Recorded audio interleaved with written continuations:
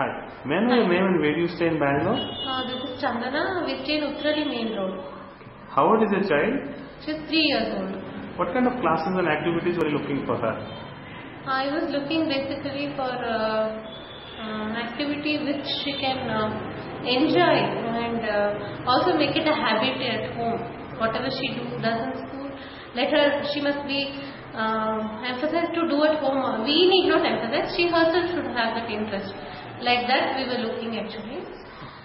Um, so Yeah. this is the best, one of the best place I found. And which of the play schools did you consider? We considered uh, and Maplevale uh, near uh, DG petrol pump and uh, Jain Toddlers and Podar Jumbo Kids. So they are the they are all, all the best play schools, but this uh, we found it uh, a different, a unique one uh, for us. And why did you finally choose Jain Toddlers? Mm, Jain toddlers, uh, actually, the what are the theme-based activities? What they do, uh, like uh, in each month they introduce a new theme. They just not force that one to ten uh, will be learned at a stretch. They introduce numbers.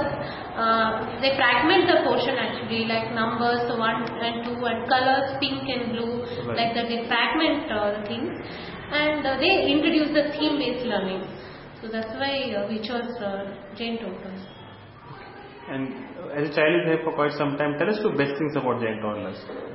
Best things is uh, uh, my kid actually enjoys coming here. Uh, lot of uh, outdoor activities like short uh, picnics and uh, for, for example say vegetables uh, when they teach here they take to vegetable market.